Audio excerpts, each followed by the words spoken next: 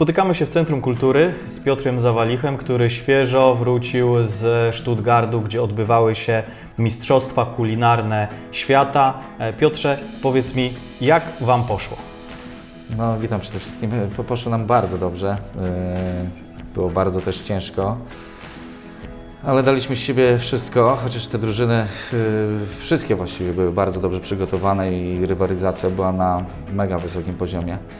Yy, Do końca oczywiście wszyscy w napięciu przeżywaliśmy to, czy zdobędziemy ten medal, ze względu na tak, tak potężną konkurencję. E, opowiedz, e, jak wyglądało Wasze stoisko, co przygotowywaliście, e, czym się pochwaliliście podczas e, tego wydarzenia? E, Przede wszystkim nasze dania regionalne, tak? Jeżeli chodzi o Mazury, no to ja przygotowałem tutaj ikrę z sandacza, z okonia i ze szczupaka e, w takich zupełnie innych odsłonach, w zupełnie innych smakach. Oczywiście naturalnych tutaj składnikami takimi, które mogłem mieć pod ręką, no to była akurat na przykład wiśnia. Jeżeli szykowana była ta ikra, to była od samego początku raz, że w aromacie wiśni, dwa, że podwędzana w aromacie drewna z wiśni. W drugim smaku poszedłem tutaj akurat no, w kwaśną, naturalną śmietanę y, ze świeżymi ziołami i w trzecim smaku y, troszeczkę bardziej odważnie, bo tutaj jest y, mocno wytrawnie, czyli pigwa y, z, domowego ogródka, y, także tak na bogato, na bogato smakowo. Widzę, masz ze sobą medale. E, aż dwa zdobyliście? Znaczy zdobyliśmy tym razem brąz, tak? To jest ten właśnie ten medal. Ciężko było, ale zdobyliśmy.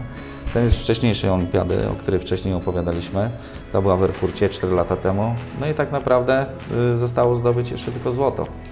Tak. Mamy nadzieję, że przy kolejnej edycji, która będzie, przypomnij, za... Za 4 lata.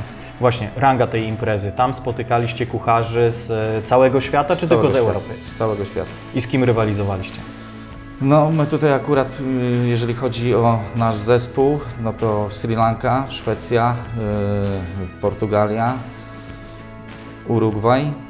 Jeszcze były jakieś dwa państwa, ale powiem panu, że Czyli to tak jak mistrzostwa w piłce nożnej, że macie grupy, w których rywalizujecie, tak? tak, wcześniej jest to poprzedzone losowaniem i każdy trafia na swój dzień, na swoją grupę.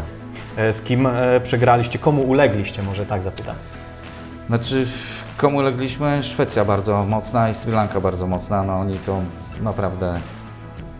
Człowiek zdobywając ten medal, wie, że jeszcze trzeba się sporo uczyć i dużo pokory, dużo pokory. A oni czym zaskoczyli?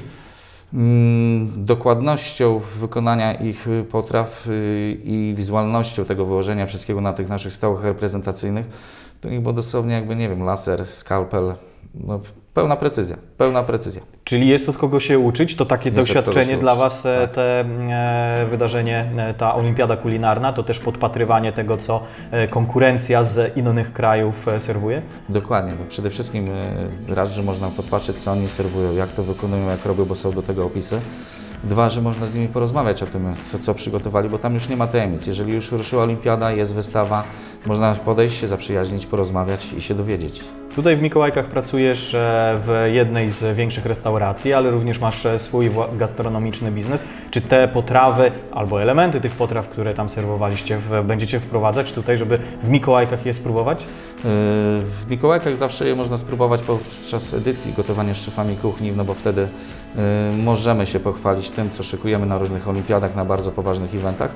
I niedługo będzie okazja właśnie, akurat 20, 21, 22 marzec będzie kolejna edycja, szósta gotowania z szefami kuchni y, z różnych regionów Polski, łącznie z, jednym członkiem tej tegorocznej drużyny Irkiem Koniuszko, szefem kuchni z Zamku Ryn. Y, Będziemy przygotowali taką kolację dla Państwa w hotelu Amax.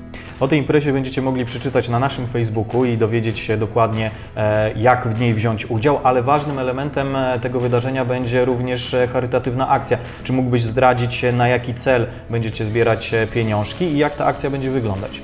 Tak, podczas tej edycji właśnie w weekend 20, 21, 22 marzec, 21 marca robimy Dzień Wiosny dla Moniki. Jest to jedna z zaprzyjaźnionych tutaj naszych szefowych kuchni, dokładnie była zastępcą szefa kuchni w restauracji Bella, Italia. Niestety przytrafiło jej się w życiu nieszczęście, bo był wypadek samochodowy.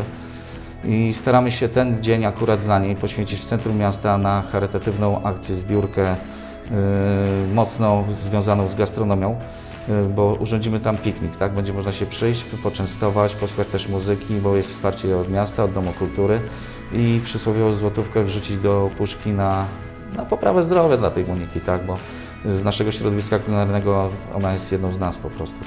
E, My serdecznie w takim razie zapraszamy na akcję charytatywną, która 21 marca w centrum miasta się e, odbędzie. Piotrowi dziękuję za odwiedziny naszego studia i życzę kolejnych kulinarnych wyzwaniach. Ja również bardzo dziękuję. Przede wszystkim chciałbym pod- podziękować za ten ogrom trzymania kciuków, bo to dzięki Wam tak naprawdę był ten zapał we mnie, żeby walczyć o ten medal. I ilość gratulacji, które spłynęła po tym jest nie, niesamowita. Niesamowite doznania, za które bardzo dziękuję wszystkim. Gratuluję.